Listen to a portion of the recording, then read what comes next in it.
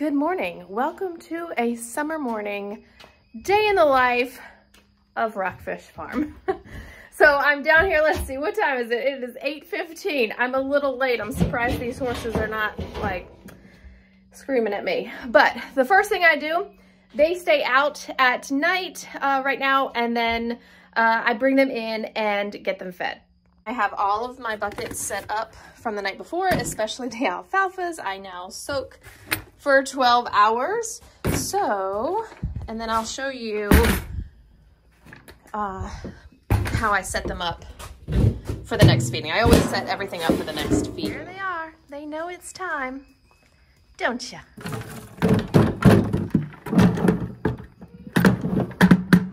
right, everybody's stalls filled. They're gonna go back out today, so I didn't put hay or anything. We filled the water buckets last night and they should run to their stalls. Let's see if they do. Ah, Dip Dips. Hi. AJ, you ready? These two are always the first at the gates.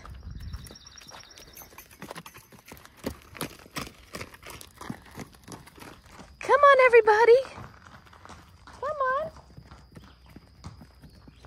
All right, they're in there. Where are you going? You know where your stall is. It's not that way. You know where yours is. Don't go in there with him.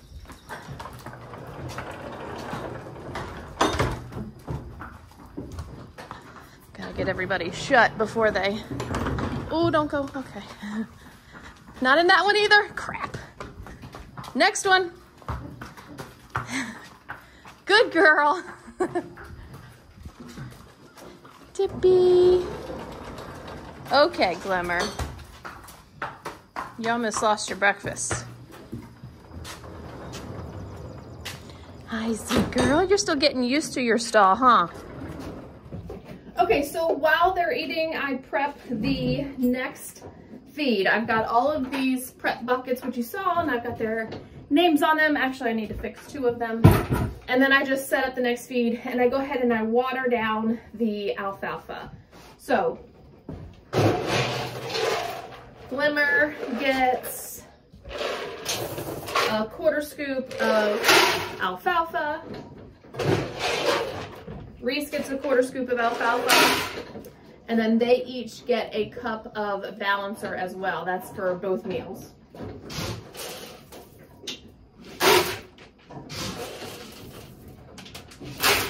And then the rest of them, Dippin' Dots used to get alfalfa, but we're taking her back because she choked on it. And also, I'm kind of giving her the month of June to like chill, to harden her feet. And uh, so I've cut her back off the alfalfa. She, she can handle it. And then we'll see if she needs the energy, we'll add it in later. So Applejack gets a cup of balancer. That's all he gets, that's all he needs. Skittles gets a half a cup of balancer. That's all she needs. And then Dippin' Dots, we do a cup and a half.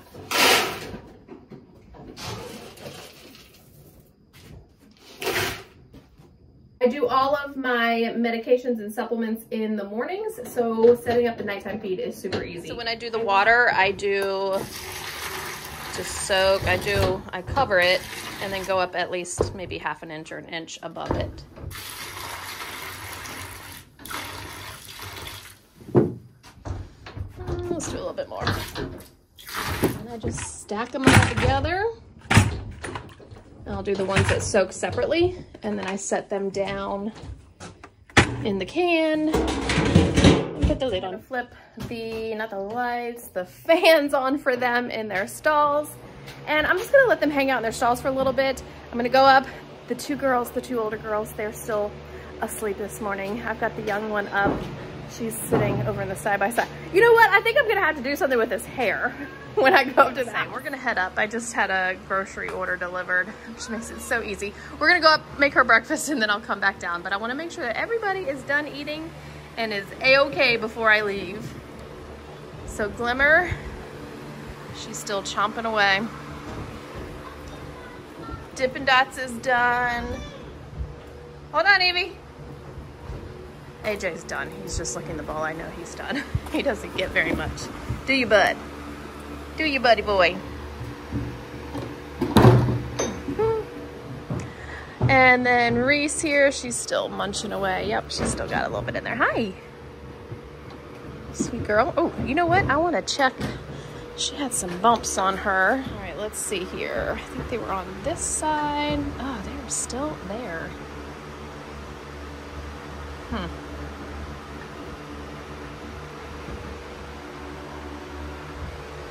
She doesn't look swollen. She just has these, almost like they're like a mosquito bite or something. They're all right here. They actually feel less than they did last night. So we'll just keep watching it. Looking good otherwise. Sweet girl. So what is on my to-do list for today? So every day is kind of a little bit different, but my morning routine is usually the same.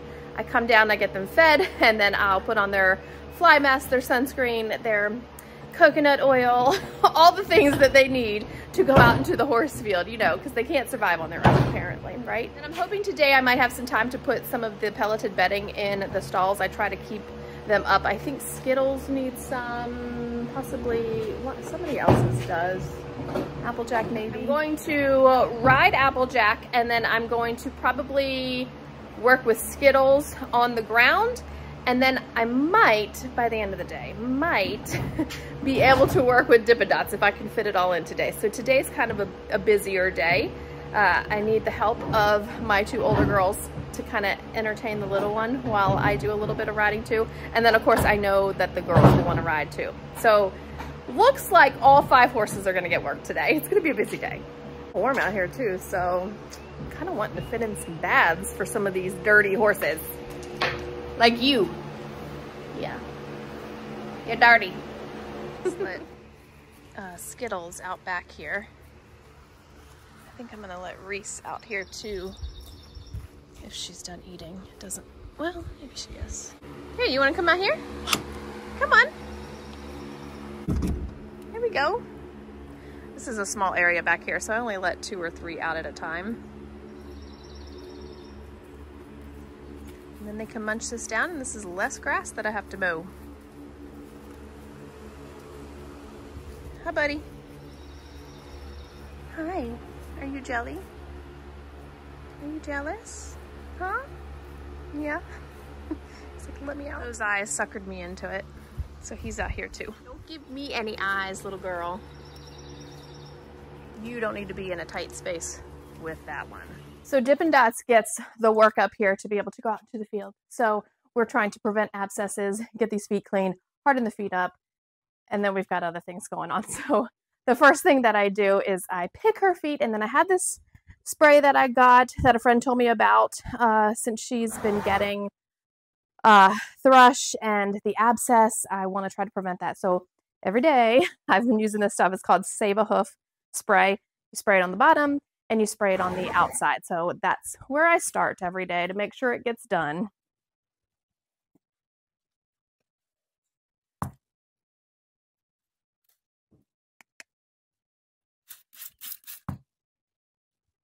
Come on. She's been real funny about her feet, her front feet, since she had the abscess.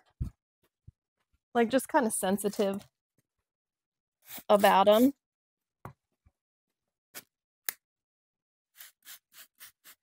This right front, ooh, it's still a mess, still a mess.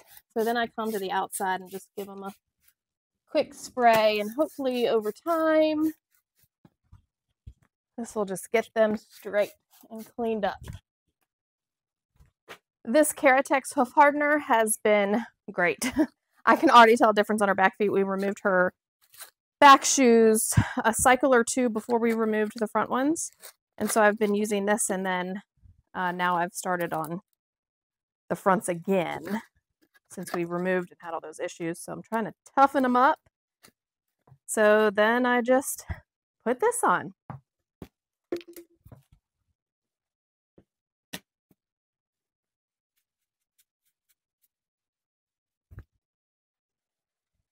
Yesterday she had a tick embedded on her face right here it kind of left a mark and man, it looked nasty and red yesterday. So pulled the tick off. We're going to spray with some wound and skin spray. Just a little bit on there. Oops, sorry. then she gets a little bit of sunscreen on her nose, lips, chin, all of these pink, real sensitive areas. She was real funny uh, when we first got her about her mouth, which she still is, as you can see. But I think she's just been sunburned pretty badly in the past. So I want to try to avoid that. Yes, good girl. Good girl. So I rub it all over and try to get especially where the bit goes. Nose, and then I just finish up. I swipe it across the pinks of her eyes there, even though she gets a mask on. There we go. All right. Then she gets a mask with a nose piece to cover as many places as possible. And she also, this also has the UV protectant in it because of the Appaloosas with the whites around their eyes and all that. We're trying to prevent the uh, uveitis. So this one has, you know, the um, UV protectant in it.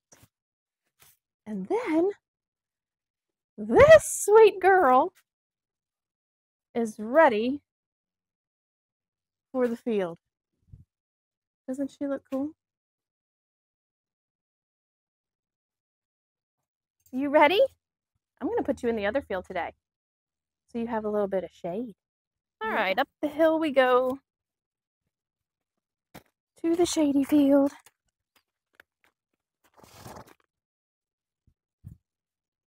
Just realized I forgot to put coconut oil on her chest and under her chin and under her belly. I usually do that because it helps keep the flies off of her like really well. But it does last a couple days and I did do it yesterday, so hopefully she'll be okay. Up next is Glimmer. I usually don't put fly spray on them when they're just going out to the field. Fly spray lasts like 30 minutes, so it's really not worth putting on for out in the field. I'm better off taking all of these other measures and saving the fly spray for when we actually ride. I've got Glimmer's cool bug mask on. She had coconut oil on last night, so she should be good too. Glimmer gets sweet itch during the summertime, so we do all that we can to try to prevent it. Like she wears fly boots unless she's riding. We just keep them on her at night too. Um, so she gets sweet itch because of all the flies and gnats and all that kind of stuff. So at the end of the summer, we usually have to pop in and save her with some hydroxyzine in her morning feed. But we usually don't start that until we see signs of it and she gets real itchy or she starts losing some hair, stuff like that. Right. I think that's all that's going to go out here right now because I think the other three I'm going to end up working with today. Skittles is going to be up first. We're going to work on some groundwork and then do some desensitizing with her. Which color do we want to use today? I'm thinking blue. Let's go blue. And this pony, where is she? Put them out back. Skittles! Must be all three down here in these stalls. AJ, where's Skittles? I'm gonna play with you in a little bit. I see you. I see you.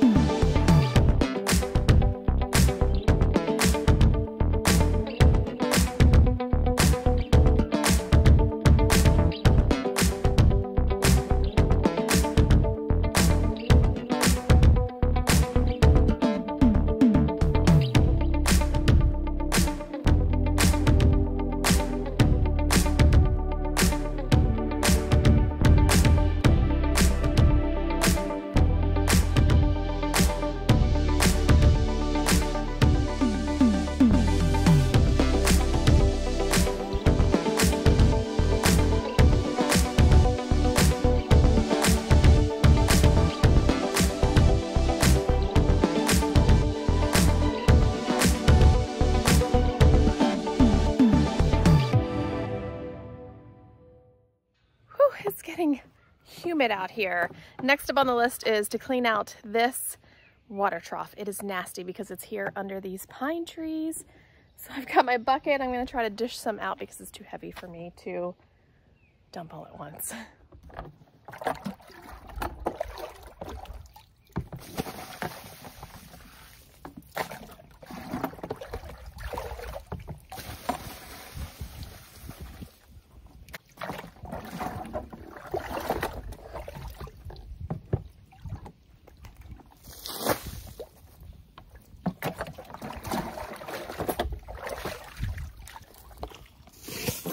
see if I can dump it now. Here we go.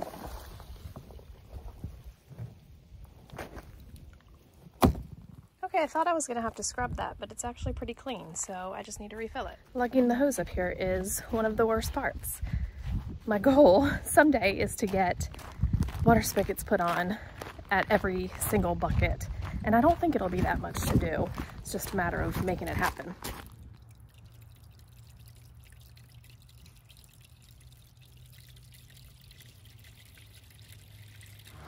Girls are getting ready to ride. Cheyenne's gonna ride in the arena and Kaylin is gonna ride in the field, she says. Yeah? Yeah. Are you gonna be a good girl, Reese?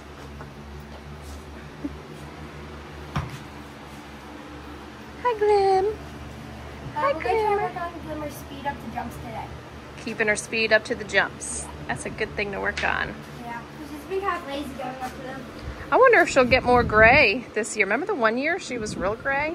Yeah. Sometimes she stays kind of white, but her face is looking gray. I decided to give Dippin' Dots a bath while the other girls are brushing because they're taking their sweet time. So I might as well wash Dippy. So here's the before. You're not that dirty. You're not that dirty. It's gonna feel so good because it's hot out here.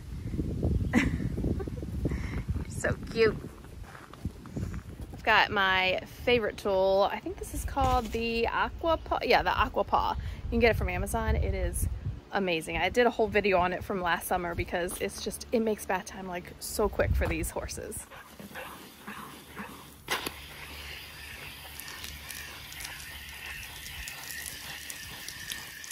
Oh, you look so pretty. We still gotta rinse your face. All done. Look how good you look. You were a good girl got her tail really clean. It took me three times to get it all really clean to get it to like rinse clear. And then I did condition it and then I put in the Cowboy Magic tail detangler. And I used the purple shampoo on her. You look good, girl. All right, I missed Kaylin's ride because I was washing Dippin' Dot. She's gonna have a popsicle with her sister. I'm gonna go up and uh, help Cheyenne for a few minutes, okay? All right. Cheyenne is warmed up. She's gonna be jumping here in a minute. So she wants to work on her speed up to the jump and keeping her moving forward. Right? That's your plan? What? Your plan is to keep her moving forward to the jump? Yeah.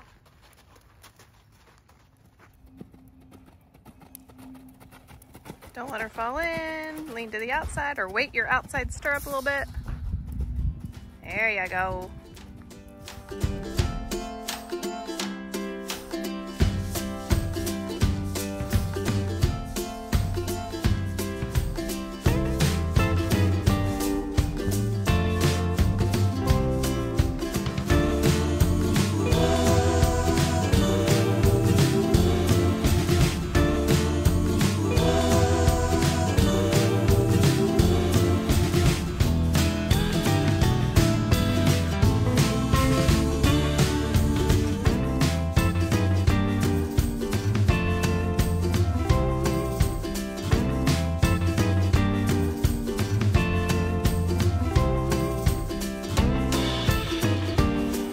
We ended up working on your takeoff spot, putting it out further so it's not such a stop and then go. She can now soar it. And so we've got that speed now too. So I think you're good to go. She's tired, let her cool out. Good job.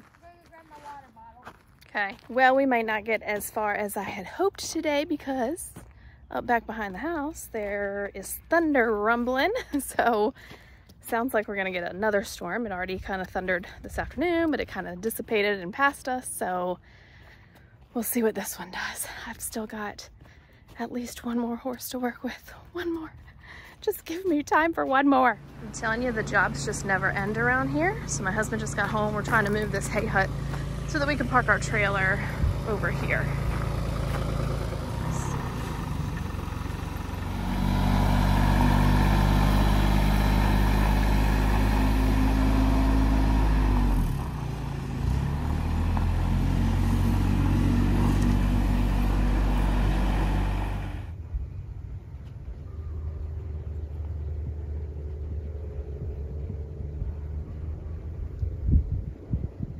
Cheyenne decided to ride Applejack for me, so we just finished up dinner.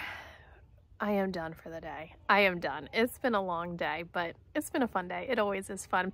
I never get done quite what I think I'm going to get done, but we try, right? Thanks for coming along with us today. We'll see you next time.